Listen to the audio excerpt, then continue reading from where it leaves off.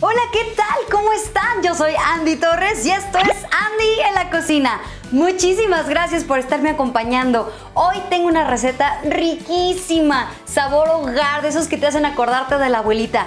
Vamos a hacer un caldo de albóndigas que estoy seguro que te va a fascinar y lo vas a querer hacer en este mismo momento. Así que vamos a ver cuáles son los ingredientes que necesitamos. Para el caldillo necesitaremos 5 jitomates bien maduros, una cucharadita de caldo de pollo en polvo, un cubo de caldo de res, dos dientes de ajo, dos chiles chipotle con su adobo, opcional calabaza y zanahoria picada y aproximadamente litro y medio de agua. Para las albóndigas necesitaremos 3 cucharadas de arroz, 500 gramos de carne molida de res o mixta, 2 tiras de tocino finamente picado, una pizca de pimienta, una cucharada de sal, una cucharada de orégano, un diente de ajo prensado, las hojas de tres ramas de hierbabuena finamente picadas, una calabaza rallada, una cebolla rallada, dos huevos. Y dos piezas de plátano macho picado. Aquí tengo dos ollas con agua hirviendo. En la primera voy a poner los 5 jitomates.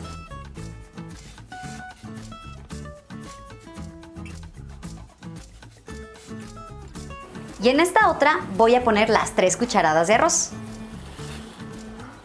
El arroz lo vamos a dejar hervir por 7 minutos, igual los jitomates otros 7 minutos o hasta que la pielecita se rompa. Ya pasaron los 7 minutos, los jitomates los vamos a reservar y el arroz lo vamos a colar. Y este arroz lo vamos a reservar en lo que preparamos los demás ingredientes. En un recipiente voy a vaciar la carne molida y el tocino. Agregamos la cebolla que está rallada, los dos huevos, la calabaza italiana, y nuestros condimentos. El ajo prensado, el orégano, la sal y la pimienta. Y por último, la hierbabuena finamente picada. Con nuestras manos bien limpias, vamos a revolver todos los ingredientes hasta que tengamos una mezcla homogénea.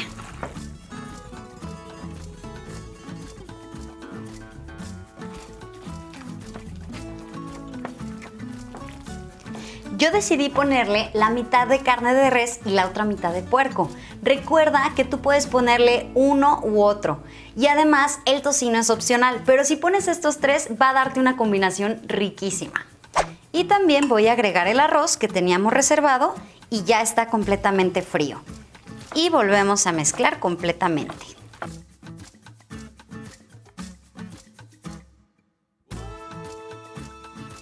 Y ahora tomamos una pequeña porción de carne, le ponemos en medio nuestra rebanadita de plátano y vamos a hacer nuestra bolita de albóndiga. Y así hasta que terminemos con toda la carne.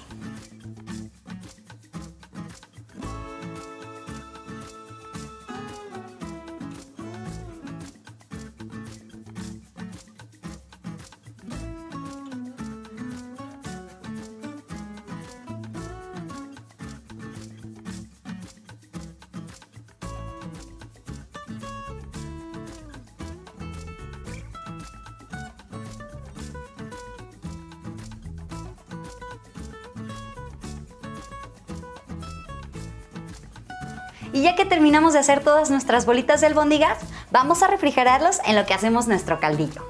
En la licuadora vamos a agregar los jitomates que ya teníamos reservados, el cubo de caldo de res, los dos dientes de ajo, la cucharada de caldo de pollo en polvo y una taza de agua. Y ahora vamos a licuar perfectamente.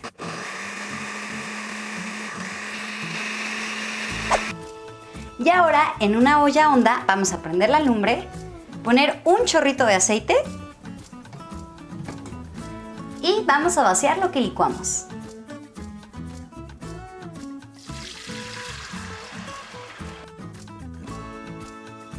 Y vamos a dejar hervir nuestro caldillo durante 5 minutos. Nuestro caldillo ya se sofrió durante 5 minutos y vamos a agregar el agua. Yo estoy utilizando la misma con la que cocí los jitomates porque puse agua natural.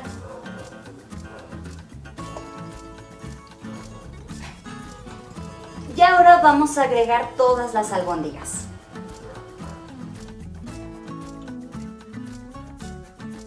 Ya que pusimos todas las albóndigas, vamos a poner nuestros dos chiles chipotles. No te preocupes, no va a picar, pero le va a dar muy buen sabor.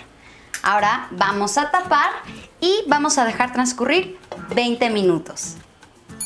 Ya pasaron 20 minutos que se estuvieron cociendo las albóndigas a fuego medio. Entonces vamos a agregar ahora la verdura que más tarda en cocerse. Yo, por ejemplo, le voy a poner zanahoria. Aquí entraría chayote, también si decidiste ponerle papa. Y vamos a dejar 5 minutos más para agregar el resto de la verdura.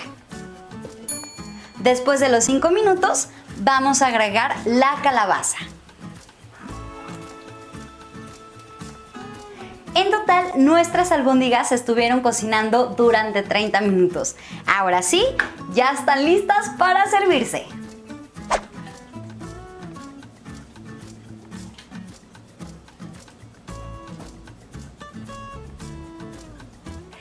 Y ahora sí, ¡a probar! ¡Uy, esto huele riquísimo!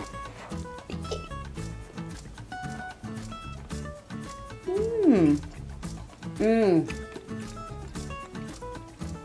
Wow, de verdad. Esto está muy, muy, muy rico. Qué bárbaro, ¿eh? Qué delicia. Es que entre lo saladito de la carne y luego tienes la mezcla de lo dulce del plátano macho en el centro. Está buenísimo. Muchísimas gracias por haberme acompañado. Prepara esta delicia lo antes posible. Y bueno, me encantaría muchísimo que te suscribieras. Me gusta muchísimo leer sus comentarios, ver sus deditos arriba.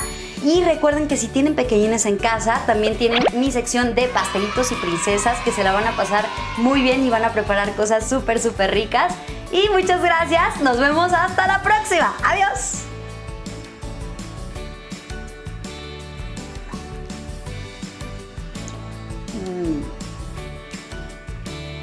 Rico.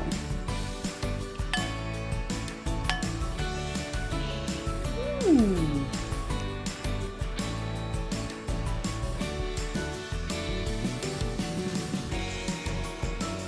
¡Oh! No como.